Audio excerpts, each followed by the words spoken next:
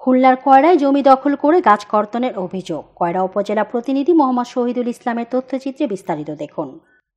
খুলনার কয়রায় প্রতিবেশীর জমি দখল করে বনজ ফলজ গাছ কাটার অভিযোগ উঠেছে মোহাম্মদ বিল্লাল হোসেন গং ও তার পরিবারের লোকজনের বিরুদ্ধে। ঘটনাটি ঘটেছে কয়রা উপজেলার বাগালি ইউনিয়নের বাগালি গ্রামে। এই ঘটনায় ভুক্তভোগী বাগালি গ্রামের মৃত কেরামত গাজীর পুত্র রেজল করিম একই গ্রামের মোহাম্মদ বিল্লাল গাজী, আলামিন গাজী, আবু হাসান গাজী সহ পাঁচ জনের নাম উল্লেখ করে জড়িতদের বিরুদ্ধে সোমবার কয়রা থানার অফিসার ইনচার্জ বরাবর একটি অভিযোগ দিয়েছেন।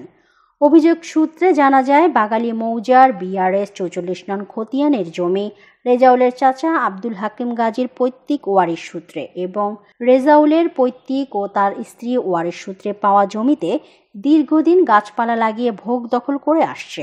আমরা দীর্ঘদিন ভোগ দখল করি আমার শ্বশুর পঞ্চাশ বছর ভোগ দখল করেছে আমি তিরিশ বছর করি। আচ্ছা।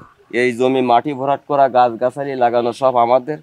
আমাদের শরিকেরা আড়াই শতক জমি পাবে আর একটা বেটি আছে সিনতি আওয়াজে খায় দীর্ঘদিন। আচ্ছা। একশো বছরেরও বেশি। আচ্ছা। সেখান থেকে আমার কোনো এক শতক জমি দেয়নি আমি সাত শতক জমি পাবো। আচ্ছা। ওরা এই জায়গায় আড়াই শতক জমি পাবে আমার জমি তারা খায়। তারপরে জোর পূর্বক এসে আমার এই ঘেরা বেড়া গাছপালা কাটিয়ে দিয়েছে।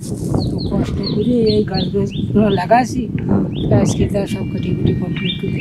রবিবার দিবাগত রাতে রেজাউলের দখলীয় জমিতে বিল্লাল গংরা প্রবেশ করে জমিতে ঘেরা বেড়া দিয়ে বাস্তু ভিটার উপর লাগানো ও ঘেরের রাস্তার উপর লাগানো ফলন্ত ছোট বড় কদবেল গাছ ও নিম গাছ কেটে ফেলে ক্ষতি সাধন করে।